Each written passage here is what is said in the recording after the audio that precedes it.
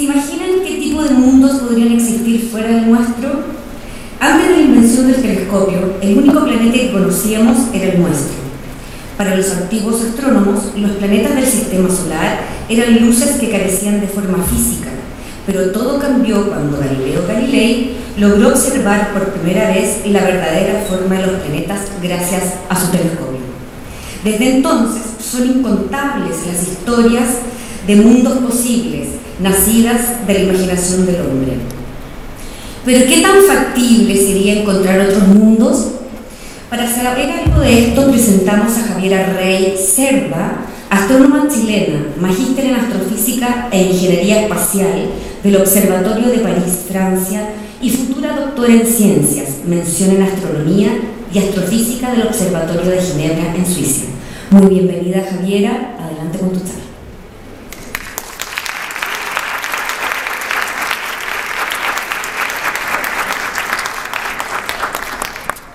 Bueno, buenas tardes a todos. Mi nombre, como ya dijeron, es Javiera Rey. Probablemente yo no soy una cara conocida en el mundo de la astronomía por el momento, pero esperemos que eso cambie en el futuro.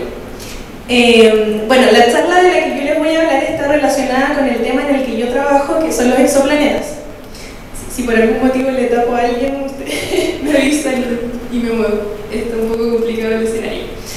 Eh, y si yo soy estudiante en Suiza, así que primero quiero dar gracias a Conicis también porque yo soy becaria de Becas Chile, así que si no fuera por el financiamiento no estaría por esos lados.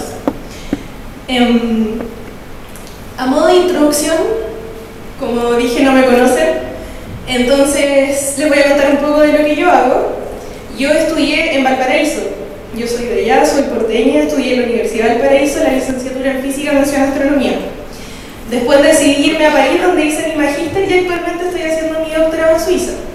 Pero yo creo que el principal motivo por el que estoy acá hoy es eh, el gusto por la divulgación. Junto con dos compañeros de la Universidad de Valparaíso tenemos un sitio que se llama Star 3, en el que nos gusta un poco hablar de la ciencia en general, no solo de la astronomía, porque encontramos que es súper importante, ¿cierto?, eh, devolver un poco a la comunidad, no sacamos nada con tener conocimiento y dejarlo para nosotros, hay que compartirlo. Así que si están interesados pueden visitarnos ahí en internet. Bueno, como dijeron en la introducción, antes de la invención del telescopio, la gente la única manera que tenía de diferenciar los planetas de las estrellas era por su movimiento. Como nosotros podemos ver en el cielo, los planetas se mueven mucho más rápido que las estrellas de fondo. Las estrellas de fondo también se mueven, pero es un movimiento tan lento que es prácticamente imperceptible. Entonces los antiguos diferenciaron estas estrellas que se movían un poco más rápido y las llamaron planetas. Pero hasta ese momento no sabíamos que los planetas eran distintos. Si uno mira en el cielo de la noche, de repente podemos ver Júpiter y uno dice, ah, esa estrella es más brillante que las demás, o de repente uno la distingue porque no titila como la otra estrella, pero no, no sabíamos que tenían una forma, ¿cierto? Solamente eran puntitos brillantes en el cielo que se movían distinto a los otros puntitos. Ahora, cuando Galileo pudo observar con su telescopio, nos dimos cuenta que estas estrellitas no eran solo puntitos de luz, sino que tenían una forma. Eran, vamos a decir, como una especie de disco. Él los logró resolver. Eh, una de las primeras cosas que pudo observar Galileo y que quizás es una de las más eh, como icónicas son eh, Júpiter con sus cuatro lunas más grandes, que son los que llamamos satélites galileanos, precisamente porque los observó Galileo.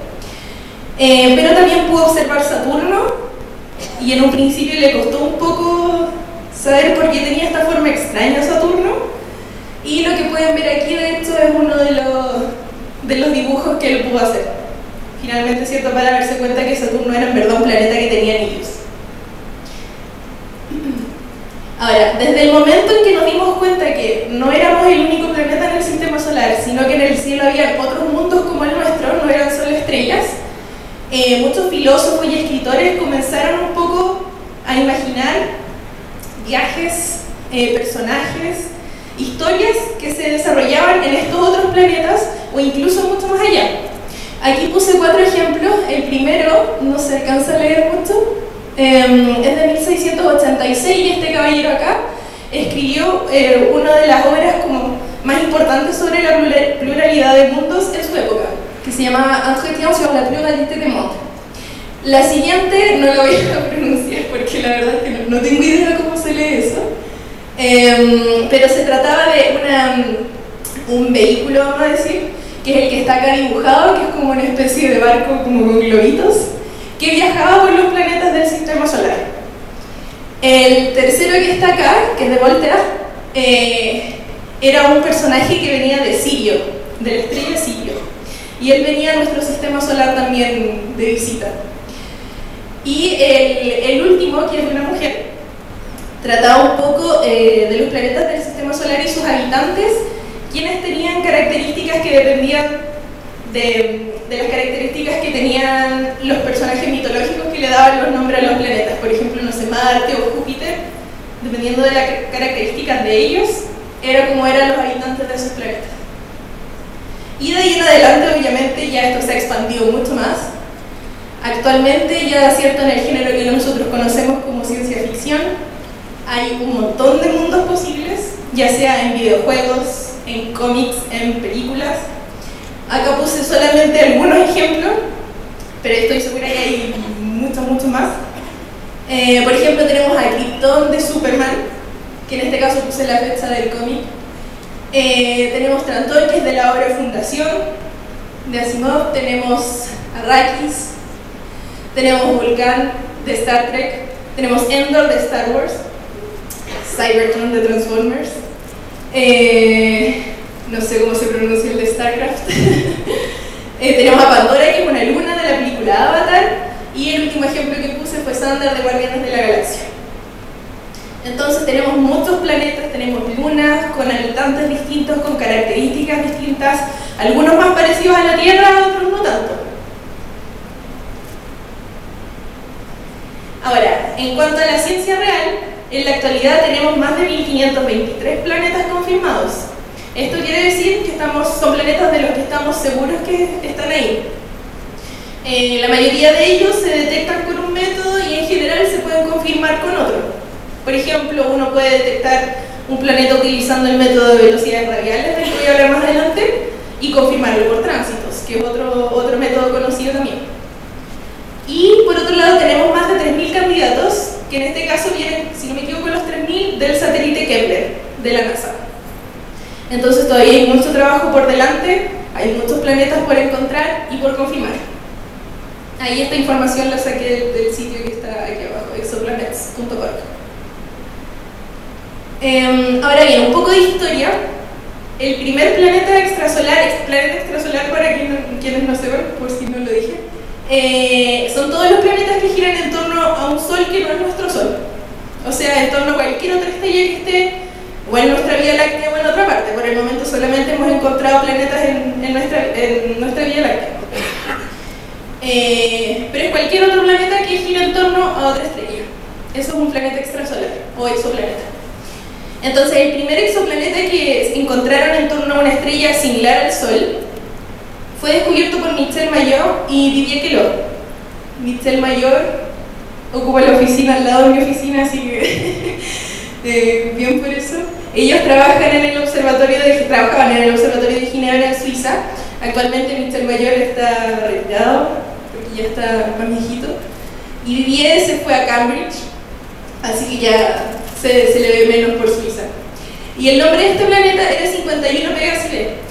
En el caso de los exoplanetas, los nombres lamentablemente no son nombres entretenidos como en ciencia ficción, sino que lo que hacemos es tomar el nombre de la estrella y el primer planeta que se descubre en torno a esa estrella lleva la letra B, el segundo C, el tercero D, etc.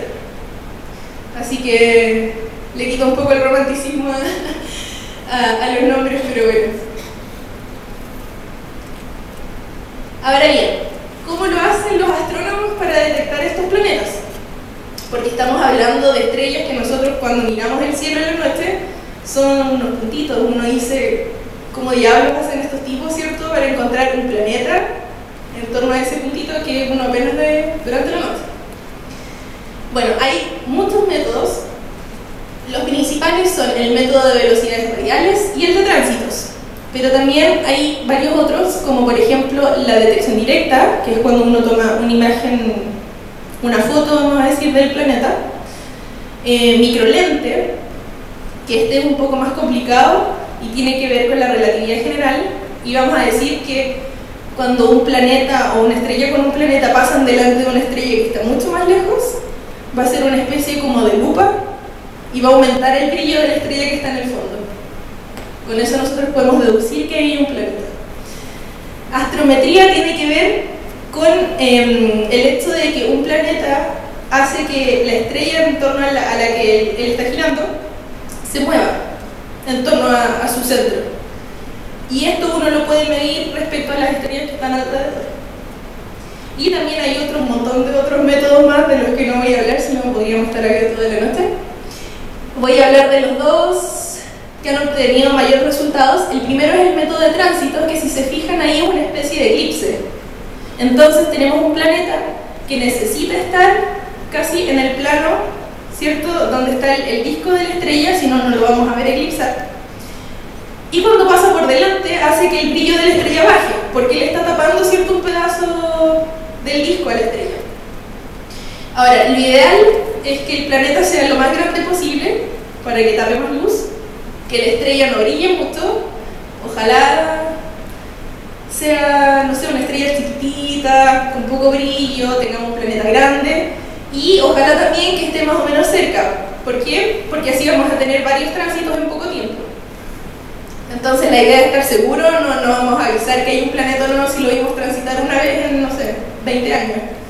La idea es que pasen varias veces y podamos estar seguros de que es un planeta que transita. Ahora, ¿qué información podemos sacar de esto? En cuanto a los tránsitos, la información más importante que se obtiene es el radio del planeta respecto al radio de la estrella. Sea, nosotros podemos decir, sí, el planeta tiene, no sé, un quinto de radio de la estrella. Obviamente son mucho más chiquititos, pero es por decir algo. Eh, además, dependiendo eh, las veces que lo vemos transitar, podemos saber también su periodo. Entonces vamos a saber la duración del año de ese planeta. Eh, y también vamos a tener una, vamos a decir, una especie de restricción respecto a la inclinación, porque si estuviese muy inclinado no estaría transitado. El otro método que también ha obtenido muchos resultados y que fue con el que se descubrió el primer planeta extrasolar en torno a una estrella como el Sol, es el método de velocidades radiales.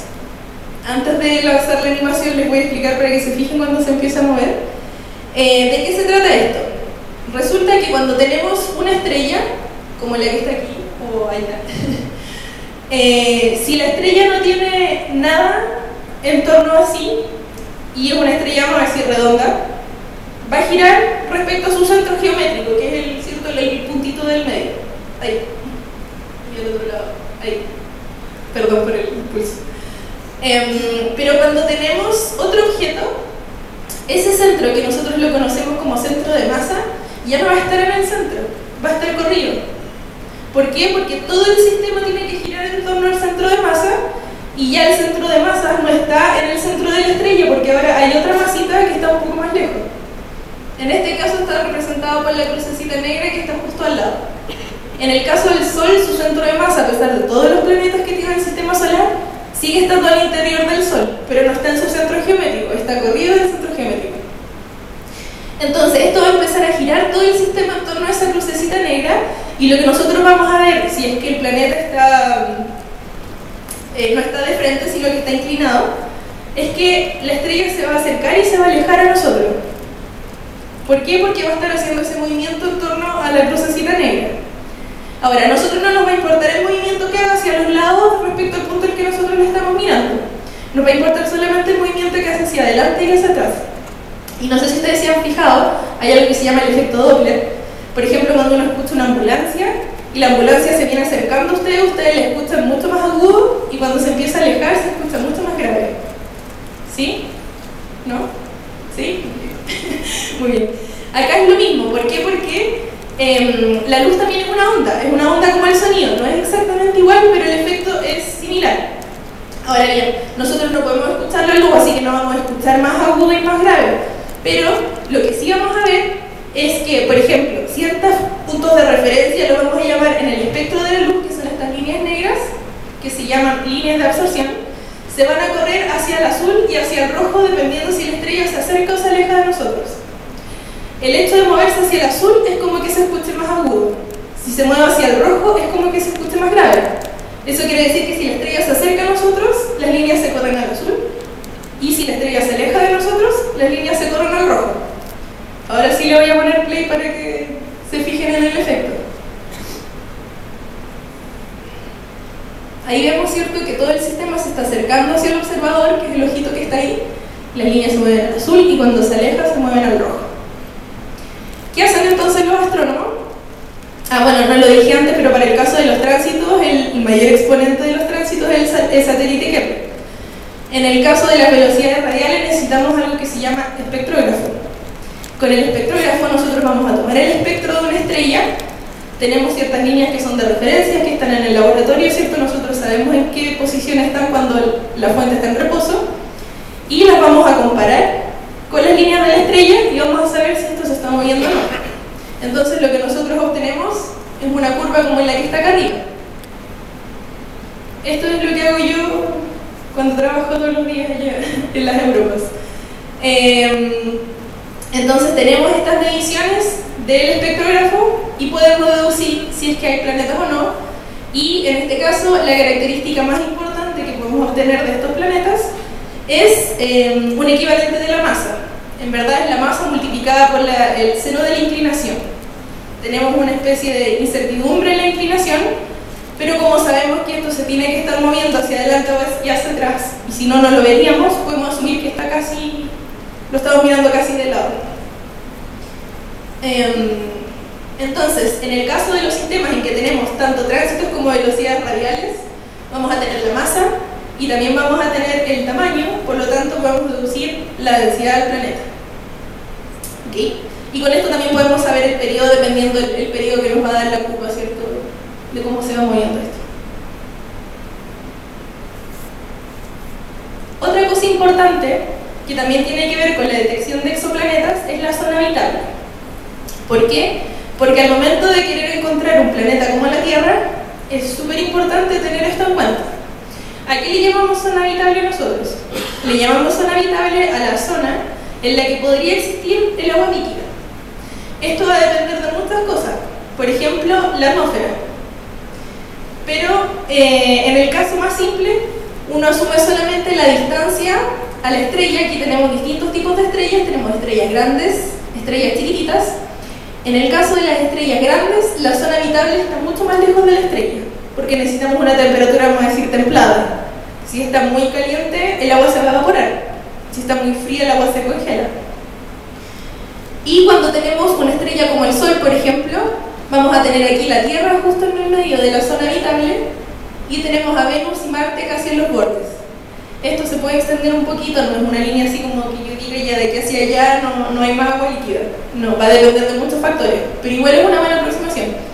Y en el caso de las estrellas más frías, que son las que están más abajo, eh, vamos a tener una zona habitable más cerca. Ahora, ¿por qué esto es bueno en el caso de estas estrellas que son las más chiquititas? Porque quiere decir que si la zona habitable está más cerca, y además para nosotros es más fácil detectar planetas que están más cerca porque vamos a ver que pasan ya sea por el frente de la estrella o que hacen efecto en velocidades radiales más seguido. Es más fácil encontrarlo. Entonces para nosotros está bien que aquí la zona habitable esté más cerca vamos a tener más probabilidad de encontrar un planeta en la zona habitable en este tipo de estrella que si nos ponemos a observar una estrella que es muy brillante, muy caliente y vamos a estar quizás años tratando de buscar algo ahí.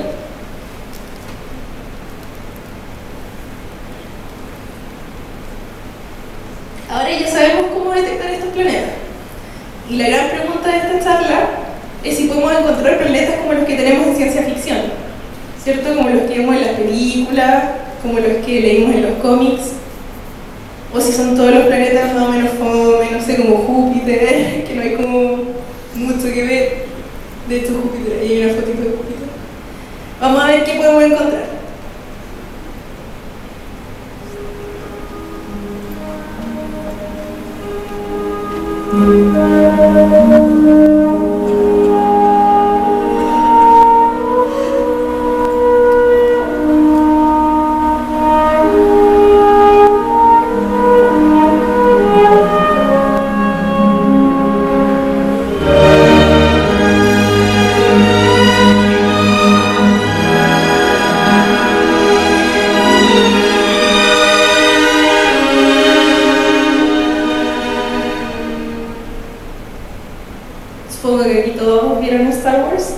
No le estoy arruinando la película a nadie.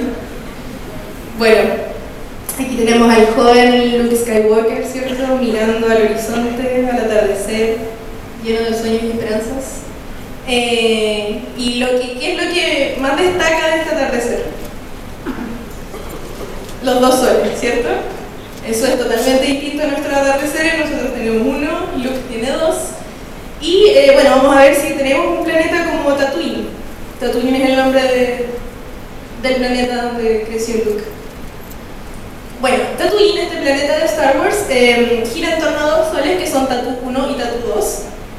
Además de Tatooine hay otras eh, cosas alrededor. Tenemos tres lunas, que los nombres no les voy a ver.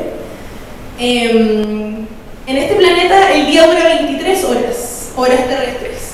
Así que no es muy distinto del día acá en la Tierra, solamente tienen una hora menos. Y eh, la duración del año, si el año es un poco más corto, dura 304 días eh, de Tatooine, no días terrestres. Pero está más o menos similar con, con la Tierra. Ahora veamos cómo es este planeta. Este planeta en su estructura es no muy distinto de la Tierra. Tenemos un núcleo que está fundido, tenemos un manto de roca y tenemos una corteza de silicato. Eh, antiguamente hubo mucha agua, antiguamente estamos pensando, ¿cierto? estamos dentro del universo de Star Wars, asumiendo. Em, antiguamente hubo mucha agua, pero en la actualidad Tatooine solamente tiene un 1% de superficie cubierta de agua, lo cual es muy poco hay solamente debido al clima extremo una pequeña zona en el norte que es habitable y eh, cada cierto tiempo aparecen unas neblinas medias extrañas que al parecer podría ser como una especie de agua bajo la superficie que sale dependiendo de la temperatura. Así que en general cuando nosotros vemos Tatooine en Star Wars vemos desierto, vemos meseta, vemos mucha roca. No es muy, muy amigable. De hecho, creo, si no me equivoco, eh, las escenas de Tatooine fueron filmadas en Túnez, así que es más que nada desierto. Y ahora viene la pregunta del millón. Si es que los astrónomos han encontrado algún planeta como Tatooine. La respuesta es que casi. No estamos muy lejos. Existe algo que se llaman eh, los planetas circumbinarios. Los planetas circumbinarios son como cualquier otro planeta extrasolar, excepto porque en lugar de girar en torno a una estrella, giran en torno a dos. Ahora bien, hay otro tipo de planetas en sistemas binarios, que son donde hay dos estrellas, que si las estrellas están lo suficientemente separadas, ahí puede haber un planeta que gira en torno a una de ellas y no en torno a las dos. Pero en este caso, como en el de Tatooine, es un planeta circumbinario, así que va a girar en torno a ambas estrellas. Em, un ejemplo de esto es Kepler 47c. Además de Kepler 47c hay aproximadamente 17 planetas circumbinarios. De esos 17 planetas hay dos sistemas que son multiplanetarios, es decir, tienen más de un planeta. El sistema de Kepler 47 es el primer eh, sistema multiplanetario circumbinario que se encontró. El otro planeta es el que lleva la letra B, que es el que está acá al otro lado. Y sus soles son Kepler 47 A mayúscula y B minúscula, así se suelen llamar en el caso de las estrellas binarias. La más brillante lleva la letra A, la menos brillante lleva la letra B. Em, en el caso de las estrellas solamente, ellas giran en torno a, sí mismas em, cada 7 días y medio. En cambio podemos ver que el planeta gira en torno a las binarias en 303 días terrestres, que no es muy distinto del año en Tatooine, que eran 304 tiene un tamaño de 4.6 veces el tamaño de la Tierra, esto quiere decir que es un poquito más grande que Neptuno. Em, y lo otro es que en el caso de los soles que tiene, Kepler 47a es una estrella tipo Sol, tiene un 85% de la luminosidad de nuestro Sol, así que es un poquito menos brillante. Y la estrella más chiquitita, Kepler 47b, es un tercio de nuestro Sol, así que es más pequeña y su luminosidad es solamente un 1% de la de nuestro.